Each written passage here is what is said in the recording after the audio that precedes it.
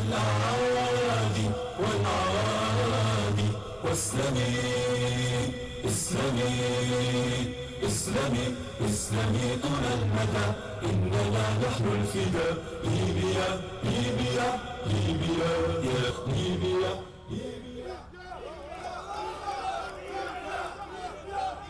ليبيا ليبيا ليبيا نعم نقول انها ليبيا ونقول ان الله الله أكبر من كل كبير إن الله سبحانه وتعالى الذي خلقنا أحرارا مسلمين هو أكبر من أمريكا وأكبر من بريطانيا وأكبر من أي كبير. نحن لن نعيش على هذه الأرض إلا أحرارا ولن تفرض علينا حكومة العمالة والوصاية حكومة كوبلر فالله أكبر. الله أكبر. الله أكبر. نقولها ونفهم معناها. نفهم معناها أن الله أكبر من كل شيء. فأبدا لن نخضع لهذه الحكومة. أول شيء قام به هو بيع عقول الغاز في البحر الأبيض المتوسط. باعها للعدو الصهيوني وباعها لقبرص لكي ينال الدعم من أين؟ من العدو الصهيوني. ومن قبرص واليونان لكي يرضى عنه الاتحاد الأوروبي. 290 مليار فرط فيها العميل الصهيوني عبد الفتاح السيسي. ولم يكتفي بذلك بل قام ببيع حصة مصر في مياه النيل. تنازل عن حصة مصر في مياه في مياه النيل وقبل بالسد الأثيوبي فالآن بدأت مصر تعطش. بدأت مصر تقنن في استهلاك المياه. بسبب هذا العميل. ثم جاء ماذا فعل أخيرا؟ باع جزيرتين في مضيق استراتيجي وهو خليج العقبة. جزيرتي تيران وصنافير. باعهما لمن؟ لآل سعود. لكي يدخل آل سعود في اتفاقية كامب ديفيد مع العدو الصهيوني. فهذا اليوم عبد الفتاح السيسي اليوم يخرج الشعب المصري اليوم المظاهرات في كل مدينة وقرية مصرية اليوم هناك الآن اعتصام أمام نقابة الصحفيين المصريين تطالب برحيل الخائن العميل المتصهين ابن حارة اليهود الذي أنتج العام الماضي مسلسل حارة اليهود وعرض على الشاشات المصرية 30 يوما خلال شهر رمضان. 30 حلقة لمسلسل حارة اليهود للعميل الصهيوني عبد الفتاح السيسي. ومن هو عبد الفتاح السيسي؟ هو سيد العميل الصهيوني خليفة حفتر. خليفة من؟ خليفة حفتر المواطن الأمريكي العميل الساقط عار الجيش الليبي. واسمة العار يقول لنا من سيبني الجيش الليبي؟ يقول لنا والله خليفة حفتر. إذا ذكر الجيش الليبي ذكرت معه معركة وادي الدوم. من كان قائد معركة وادي الدوم؟ كان العميل الساقط الأمريكي خليفة حفتر. خليفة حفتر هو وصمة عار على الجيش الليبي. لا توجد هزيمة مني بها الجيش الليبي أكبر من هزيمة وادي الدوم. والآن يريدون تنصيب هذا العميل الساقط الجبان الذي شهدت مصراته على جبنه في الدافرية فلم يصمت يوما واحد عندما أتى بمجموعة وقال أننا سوف ننطلق لتحرير الزيتن هرب في ليلتها وترك جماعته وهو فر كالجر لا أقول كالجرد وإنما أقول كالفأر المدعور لا يلوي على شيء. ونقول له يا عبد الفت نقول له يا خليفة حفتر لو كنت رجلا وفيك ذرة من رجولة أو كرامة بقيت لك فلتذهب إلى الصبر وتقاتل كالرجال ولكن نعرفك بأنك شبان عميل عاقل في مرج الخيانة.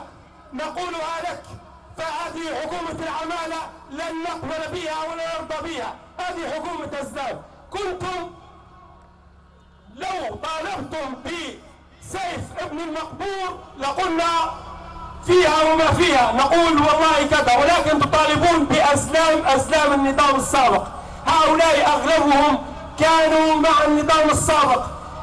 وزير خارجيتهم الذي يريدون وضعه هو سيالة كان يدير عدد من شركات الاستثمار الخارجي وكان موظف في خارجية القذافي.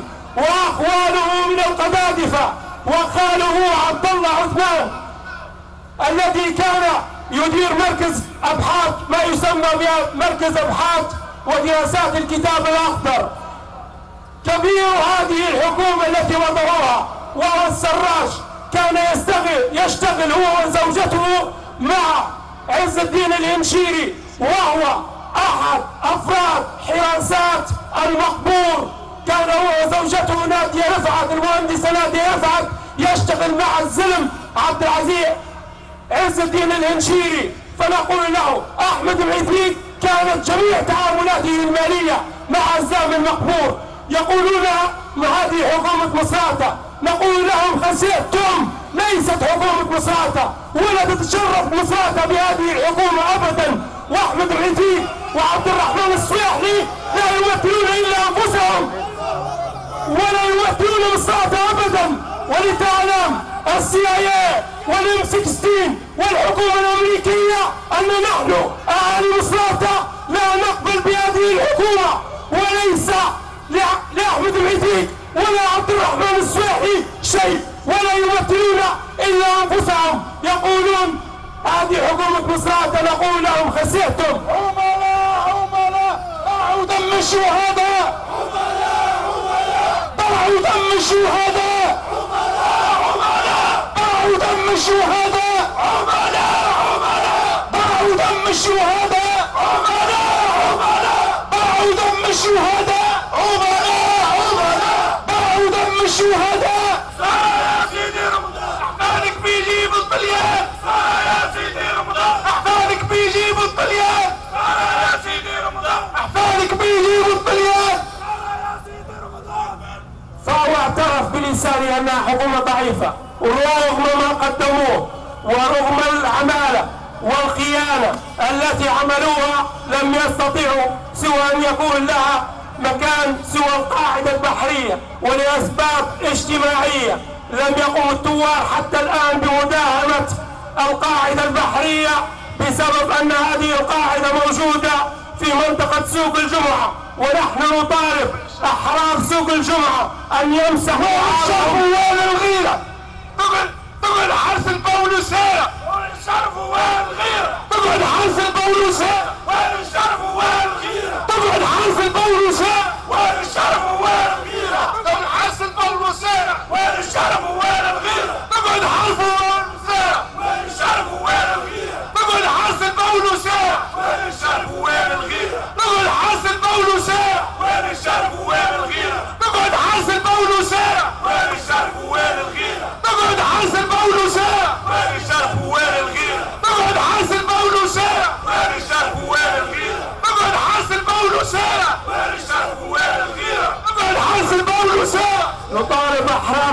الجمعة بمساحات العار وأن يطهروا سوق الجمعة من حكومة العدالة والوصاية والخيانة.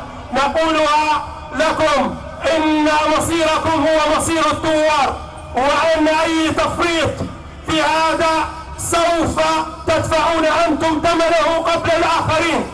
نعم سوف تدفعون أنتم ثمنه قبل الآخرين. وهؤلاء الذين خرجوا وأتوا بالحكومة الخونة والعملاء لن ينفعوا أنفسهم فضلا عن أن ينفعوكم ونقول لإيطاليا الفاشستية التي جابت حفيد المستعمرين باولو سيرا ومعه ستين جندي إيطالي إن مصالحكم هي مع الشعب الليبي. وكمثال بسيط إن الغاز الذي يصل إليكم الآن من مجمع مليتا هو المجمع الذي يؤمنه الثوار وليس لا السراج. ولا معيتيك ولا السويحلي هذا المجمع يؤمنه الثوار وإذا لم ترعوا وتنظروا إلى مصالحكم سوف تصابون بضربة اقتصادية.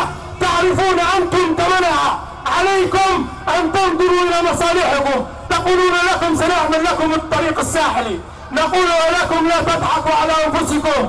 أم وأنتم تعلنون على الحرب على الشعب الليبي. إن دعمكم لحكومة العمالة والخيانة وقدوم وزير خارجيتكم وقدوم ضباطكم وجنودكم تذكير لنا بالاستعمار الفاشستي الإيطالي هو بمثابة إعلان الحرب.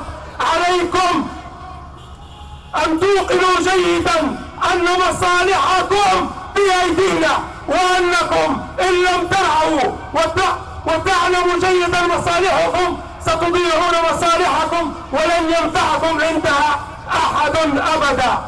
نقول لهذه حكومة العمالة والخيانة لا والله أكبر والله أكبر والله أكبر. والآن مع كلمة يلقيها علينا الشيخ محمود بن غزي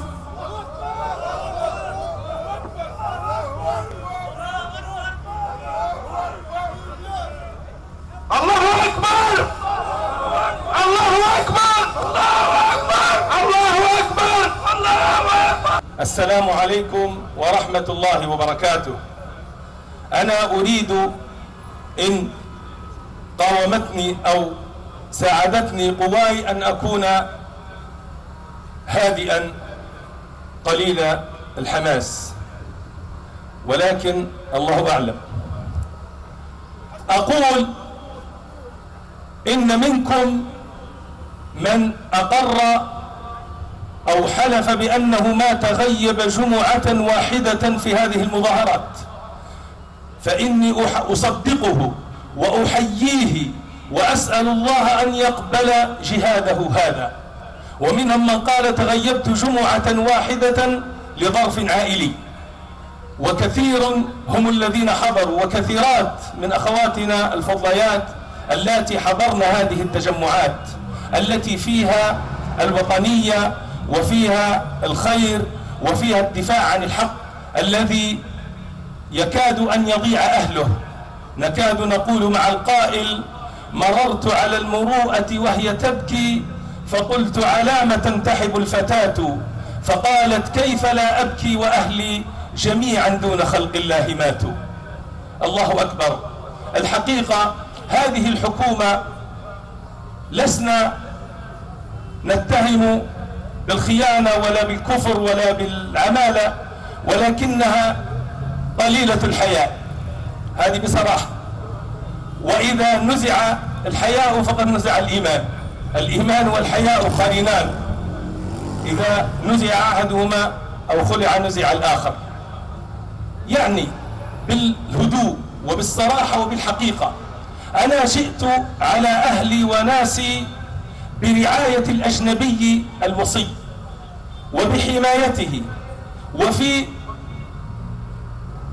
ليلة ليلة بتسلل إلى المياه الإقليمية الليبية ثم مكثت في القاعدة البحرية الحربية وأصدرت القرارات تلو القرارات في الأموال وفي السياسة ولم أستلم سلطة من أحد ولم أحظى بشهادة أحد على الوفاق عليه. ثم أتجرأ وأسمي حكومتي حكومة الوفاق وليست من الوفاق في شيء. إن الوفاق هو في يوم السابع عشر من فبراير وما تبعه من أيام صعبة وعصيبة ولكنها فيها الحق وفيها الوطنية وفيها المروءة وفيها الشهامة. كيف قامت بنغازي أعز الله أهلها الصامدين وبارك جهادهم ونصرهم على ذلك الطاغوت الكذاب الذي لن يكون مصيره إلا كمصير وليه وسيده الذي طالما شمخ بأنفه وطالما وطالما قال أنا الملك وأنا ملك الملوك وأنا العز وأنا المجد وأنا وأنا وأنا. فأزهقت روحه وأذل وكسر أنفه في التراب.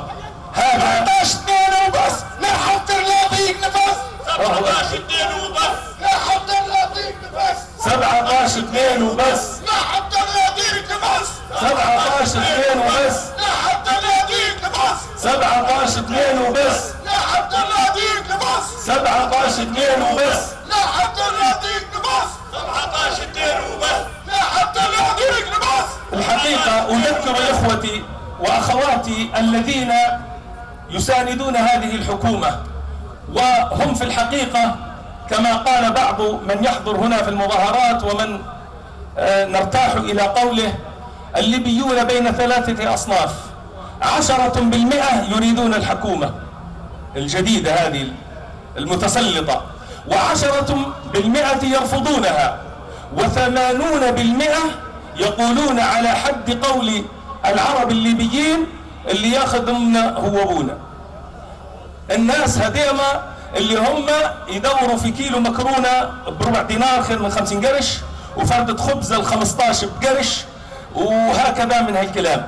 رخص الأسعار إحنا والله لا نريد الغلاء. ويريدون يأكل ويشرب ويرقد ويمشي الدكانه ويمشي بالملعب يلعب كورة ويمشي يتفسح في الحزام والله في وادي الكوف والله ما هو وامن وخلاص هذه حتى الله ما أرخص الحياة إذا كانت هذه الغاية وهذا الهدف.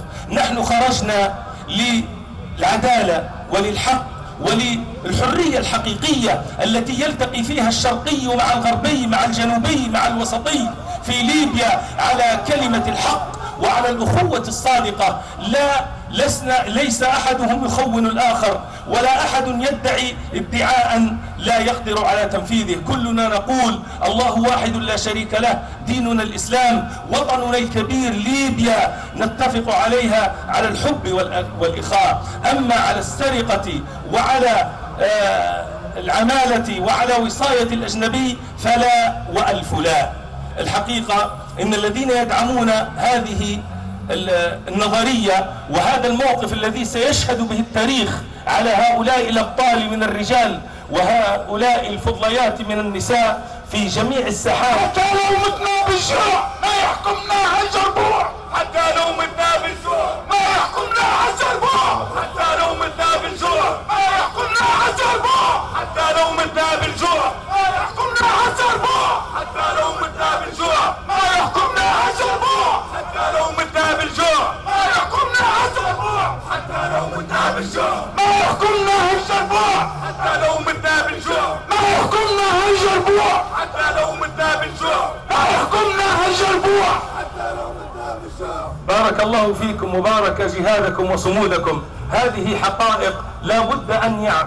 أن يعيها كل الشعب الليبي الذي الذي يريد الحق ويعرف أهداف ثورة 17 فبراير كيف انطلقت وكيف تعارضت القرى والمدن كل يوم بعد يوم تنضم مدينة من المدن ومنطقة من المناطق ومعسكر من المعسكرات ومؤسسة من المؤسسات إلى هذه الثورة حتى أخذ الله سبحانه وتعالى بأيدي أهلها وأظهرهم على ذلك الطاغوت المقبور كل ذلك بفضل إيمانهم ووطنيتهم ووحدتهم. وإني أقول لإخوتي في ليبيا جميعا وفي مدينتنا الصامدة مدينة الصمود مصراتة خصوصا توبوا إلى الله جميعا أيها المؤمنون لعلكم تفلحون. وكونوا يدا واحدة فإن الحق أبلج والباطل لجلج هذه حقائق تاريخية. لا يستخفن أحد بأصحاب هذا المبدأ ولا بالشيخ المفتي الفاضل الجليل الذي وقف ويقف دائما مع الحق في أخوة متناهية في المثالية ومنقطعة في نظير مقاطعة النظير في كلام المشايخ. يا هو يجتهد هو وإخوته من المشايخ في دار الإفتاء وحتى في غير دار الإفتاء دائما فيه مراجعات وفيه نقاشات وفيه إسقاط نصوص على الوقائع والنوازل ثم يخرجون مفتينا الشيخ الغريان غصة في حلق العلمان مفتينا الشيخ الغريان. غصة في حلق العلماني مفتينا الشيخ الغريان. غصة في حلق العلماني مفتينا الشيخ الغريان. غصة في حلق العلماني مفتينا الشيخ الغريان غصة في حلق العلمان مفتينا الشيخ الغريان غصة في حلق العلمان مفتينا الشيخ الغريان غصة في حلق العلماني. مفتينا الشيخ الغريان غصة في حلق العلماني. في وصية شهيد عن ضرائر النواحي. هذه وصية شهيد عن ضرائر النواحي. هذه وصية شهيد عن ضرائر النواحي. هذه وصية شهيد عن ضرائر النواحي. هذه وصية شهيد عن ضرائر النواحي. هذه وصية شهيد ذهبت إلى تونس واجتمعت بديبورا ونسقت معها وخرجت ديبورا عن السينين لتعلن الحرب باسم مصراتة في سرت وذهب شبابنا إلى سرت وتركته وتبرأت منه. لم نجدك ولا شيء. أنت الذي قمت بالتحريض بعض الشباب على الذهاب إلى سرت وإشعال المعركة ثم تركتهم تركتهم تركتهم وكانك لم تفعل شيء كمثل الشيطان. إذ قال للإنسان يكفر فلما كفر قال إني بريء منك إني أخاف الله رب العالمين. أنت لا تخاف الله رب العالمين. أنت أيها المجلس البائع أيها المجلس الذي فرط في كل شيء وباع كل شيء. اليوم نراك تتفرج على أبنائنا وهم يقتلون. ماذا فعلت لشبابنا؟ هل من صلاحياتك التوقيع على اتفاقية الخزي والعار اتفاقية السخيرات التي وقعت عليها مرتين مرة في السخيرات ومرة في تونس هل هذا هو عملك؟ هل أنت انتخبت لاعمال سياسية؟ من أعطاك الصلاحية لممارسة أعمال سياسية؟ من أعطاك هذا؟ هذه الأموال التي تصرفها على تنقلاتك وسفراتك ومؤامراتك لماذا لا تدفع بها لشبابنا الواقفين في الجبهة والمدافعين عن مدينتنا؟ لكن نقولها لك إن الله لا يملي للظالم حتى إذا أخذه لم يفلته وستنال جزاءك قريبا بإذن الله إن شاء الله. والآن مع كلمة للأستاذ محمد سليمان الضرات فليتفضل مشكورا. ما ننسوا فضل حرايرنا بدعاهم مولاي نصرنا. ما ننسوا فضل حراير بدعاهم مولاي نصرنا. ما ننسوا فضل حراير بدعاهم مولاي نصرنا. ما ننسوا فضل حراير بدعاهم مولاي نصرنا. ما بدعاهم مولاي نصرنا. ما بدعاهم مولاي نصرنا. فضل حراير بدعاهم مولاي نصرنا. الله أكبر الله أكبر الله أكبر.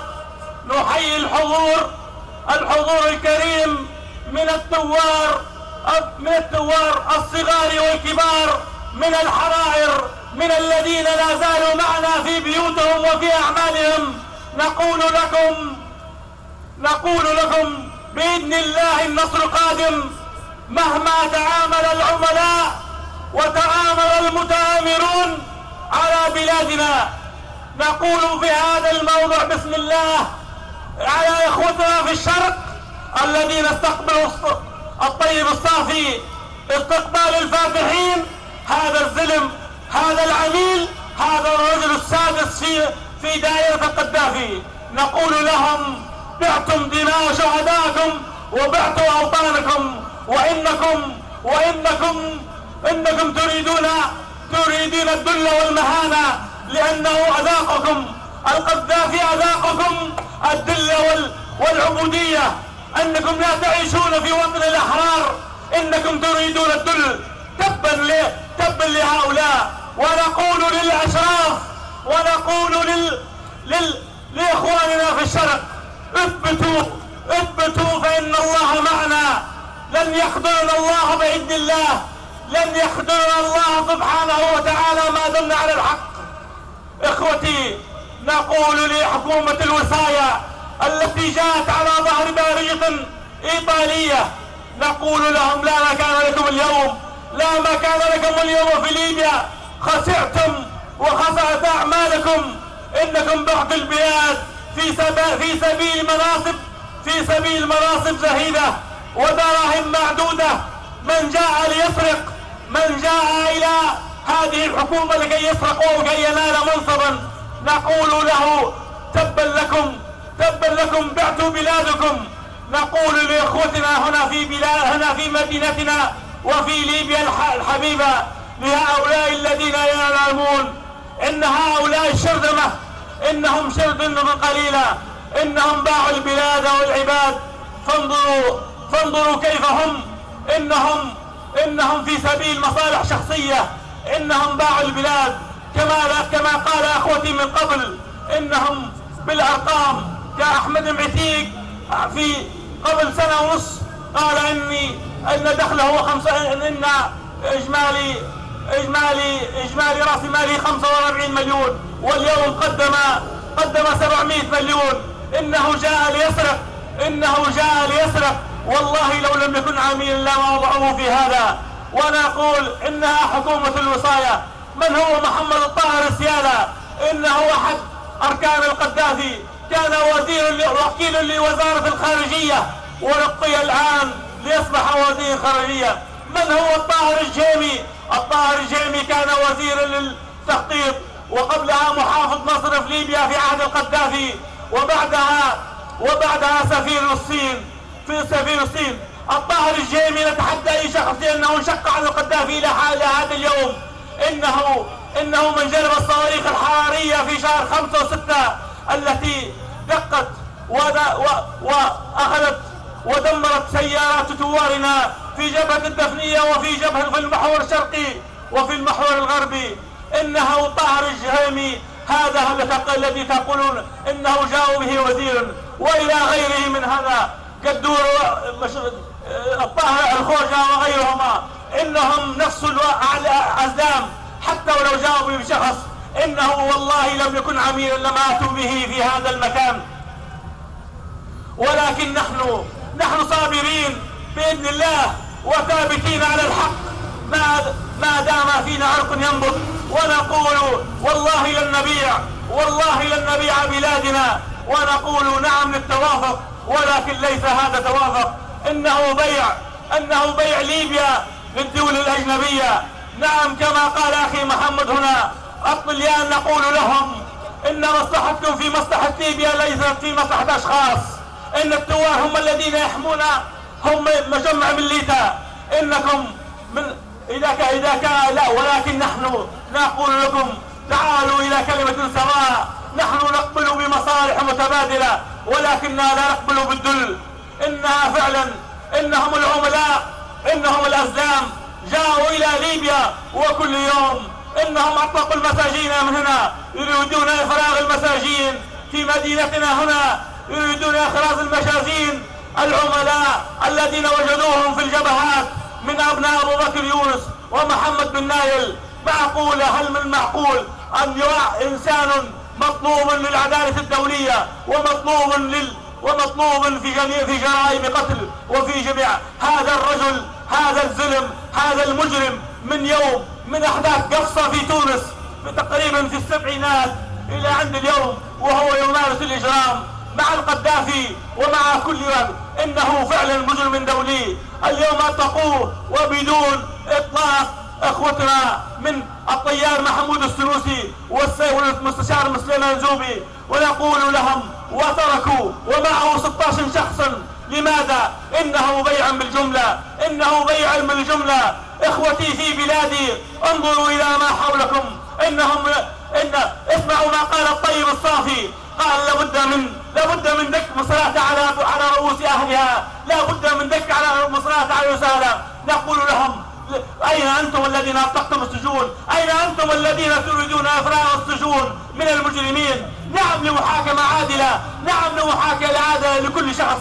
لا نريد ظلما. خيانة ما فيهاش الله أكبر. الله أكبر. ما كلام وش تاوي يطلع الأزلام.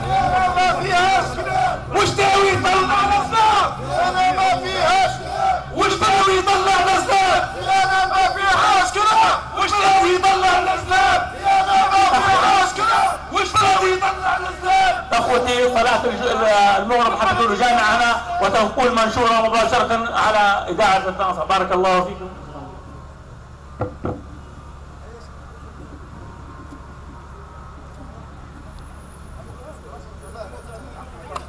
التناسح والنداء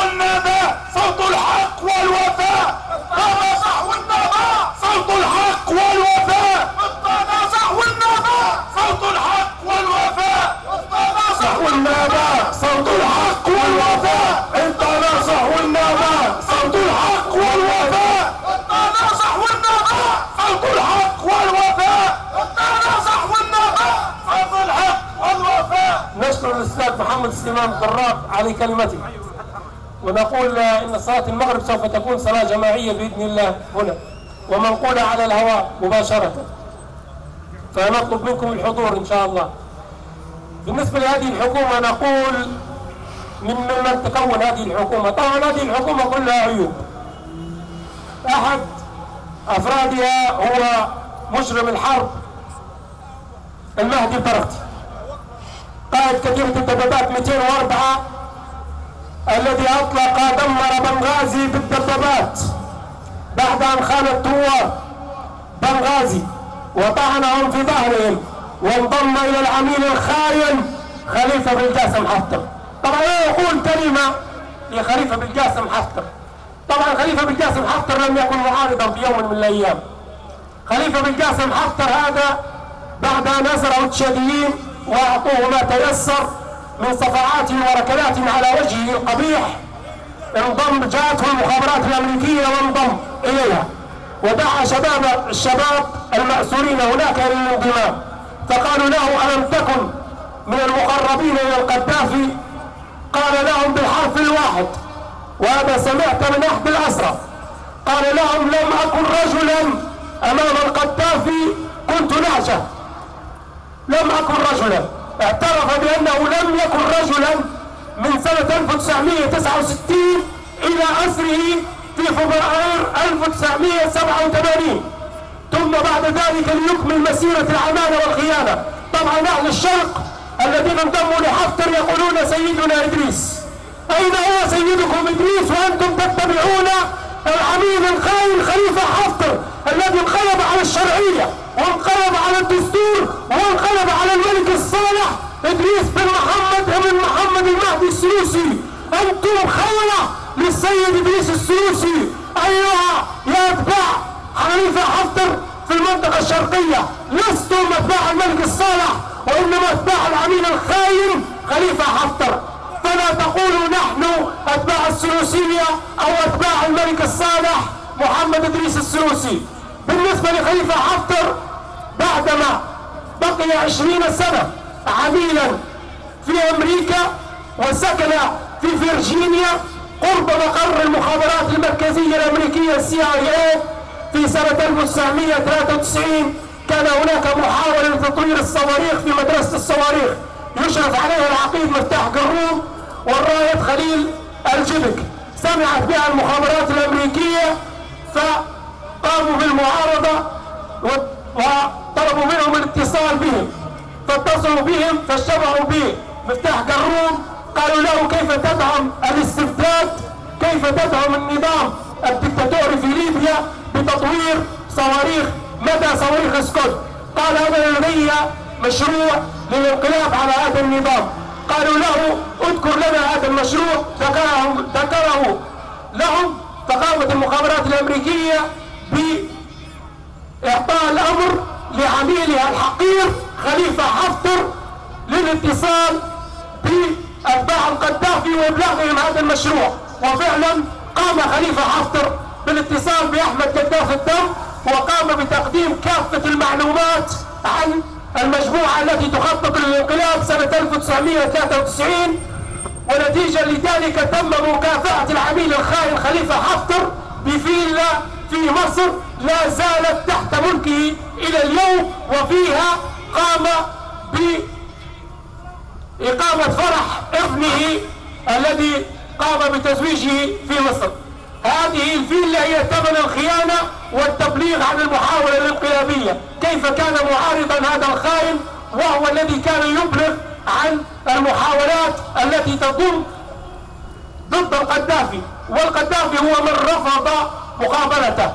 قال لهم لا أريد أن أرى وجهه. لماذا؟ لأنه مرغ وجه القذافي قبل أن يمرغ وجه الجيش الليبي. فالقذافي كان يهدد ويتوعد الدول الأفريقية ولكن بعد معركة وادي الدوم اكتشفوا أنه لا شيء وأن التيوتا انتصرت على 2000 آلية منها دبابات وصواريخ جراد وزرف طائرات ميراج كامل كان تحت إمرة هذا الفاشل الجبان عار العسكرية الليبية خليفة بالقاسم حفتر. نقول لهم لمن يريد تنصيب هذا الفاشل الجبان على ليبيا خسئتم. والآن نأتي إلى عميله الصغير المهدي البرغتي هذا المجرم الذي أخرج الدبابات في شوارع مدينة بنغازي لقصف وتدمير بنغازي. كيف اليوم يكون وزير دفاع للوطن؟ هل نأتمن هذا المجرم على وطن قام هو بتدمير ثاني أكبر مدينة فيه؟